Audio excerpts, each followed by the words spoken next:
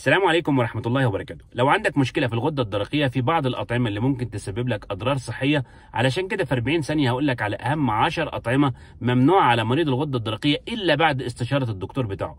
أول حاجة الخضروات الصليبية زي اللفت والملفوف والكرنب والبروكلي لأنها بتحتوي على مواد كيماوية بتقلل من إفراز هرمون الغدة الدرقية. تاني حاجة فول الصويا لأنه ممكن يسبب تضخم الغدة الدرقية وممكن يقلل امتصاص الجسم لهرمون الغدة. تالت حاجة القهوة ما تفرطش في تناول القهوة. رابع حاجة الأطعمة الغنية باليود زي الأسماك والمحار وصفار البيض لأن الإفراط في تناول اليود بيزيد من نشاط الغدة الدرقية. خامس حاجة الجلوتين اللي موجود في القمح لأنه بيسبب اضطرابات في الجهاز الهضمي والغدة الدرقية. سادس حاجة الدهون والأطعمة المقلية سابع حاجة المشروبات الغازية تامن حاجة الأطعمة المعلبة تاسع حاجة الأطعمة الغنية بالألياف عاشر حاجة منتجات الألبان. دي أهم عشر أطعمة ممنوع على مريض الغدة الدرقية ولازم قبل ما تاخدها تستشير الدكتور بتاعك.